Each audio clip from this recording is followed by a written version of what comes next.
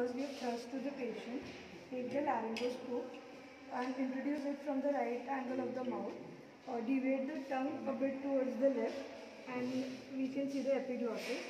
Then give an upward push to the laryngoscope to visualize the vocal cords. When you visualize the vocal cords, take the endotracheal tube of appropriate size and introduce the in, in the vocal cord. Then remove the laryngoscope and inflate the top with air. Then take the Ambu bag.